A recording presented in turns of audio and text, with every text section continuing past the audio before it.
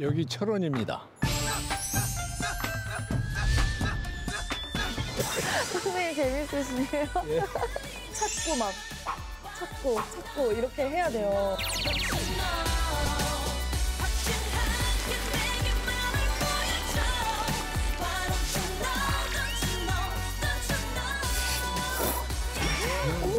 이게 이렇게 맛있었구나. 조금 달아요, 제 입맛. 제 입맛엔 딱이